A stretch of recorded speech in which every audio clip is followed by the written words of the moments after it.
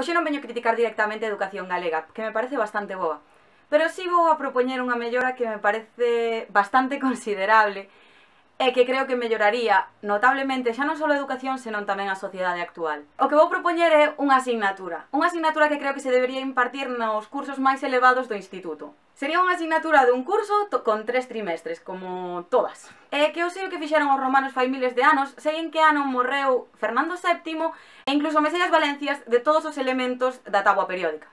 Bueno, en realidad xa non me sei, pero acórdome que estudei como en primeiro ou segundo da ESO. Pero non sei o que teño que facer se alguén se desploma ao meu lado e se queda sin respiración e sin pulso.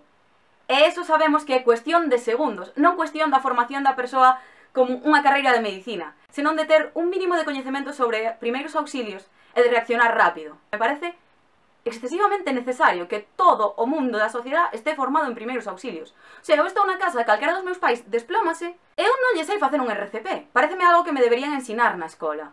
Pareceme moitísimo máis importante que saber máis valencias dos elementos químicos. Poder salvar a vida dunha persoa que se desplome ao meu lado. E creo que debería ser algo que se dese na educación pública. Pareceme sorprendente que o Estado non se involucre nese sentido. E outro día estuve buscando cursos e non hai prácticamente ningún que baixe de 100 pavos. Cando eu estiven 15 anos escolarizada, pública e gratuitamente, e non me formaron absolutamente nada nese sentido. En este trimestre de Sanidade, ademais de primeiros auxilios, o que daría sería educación sexual e tamén educación a prevención sobre drogas e alcohol. Faría unha educación moitísimo máis en concreto e moitísimo máis exhaustiva, porque moitísimos xóvenes de hoxe en día, si, sí, no, fumar mata, e xa está. No, quero saber cifras, quero que lle contemos aos xóvenes Como pode afectar? Cantas persoas pediron un trasplante de fígado por culpa do alcohol? Cantas persoas están morrendo por culpa do tabaco? Eh, e cantas paradas destas persoas que coñecemos que mm, morriu de parada? E por que veu causada esa parada? Cantos gramos de coca se puxo para que esa parada tuvese lugar? Porque eu creo que actualmente na sociedade, eh, digo, porque foi algo que me pasou, autoconvencémonos de que non pasa nada. Con moitísima xente que leva fumando moitísimos anos e non lle pasou nada, seguro que a mí non me pasa. E xa está. O sea que todo o primeiro trimestre o dedicaría a sanidade. O segundo trimestre dedicaría a dereito, legislación e eh, principios en xeral.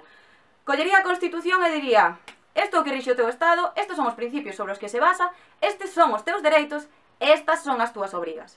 Estamos no mundo de protestar, de eu teño dereito a, eu teño non sei que, sin ter realmente nada de idea sobre que é cada cousa. E Despois a maiores tamén explicaría como se fai a declaración da renta, e tamén como facerse autónomo. Falamos de universidades, de ciclos, de bla bla bla, E as persoas que realmente se queiran montar o seu negocio e tirar para diante e abrir, por que non poden recibir unha formación pública e gratuita sobre eso? E demais cousas realmente importantes que creo que o Estado se debería centrar en darlle aos seus cidadáns. E por último, o terceiro trimestre iría sobre emocións, porque creo que na nosa educación se nos aparta totalmente das emocións, non se ten en conta en ningún momento a heteroxeneidade das persoas que temos diante e faise un todo de todos somos iguais, todos bla bla bla. No, O sea, paremos. Necesitamos empatía, necesitamos entender que temos seis emocións e que as seis son igual de importantes, que hai que aprender a xestionalas, que hai que ter un equilibrio e que temos que entender que en outras persoas unhas teñan máis peso que outras. E non no sentido de, ah, pois eu son como son e o resto que respete. No, no señor. Ti eres como eres e o resto vai no ter que respetar, pero ti vai ter que xestionar controlar cando eso son como son molestia os demais. E tens que entender que os demais tamén son como son e encontrar empatía. Eso é sumamente importante. Así que neso basaría o terceiro trimestre desta asignatura.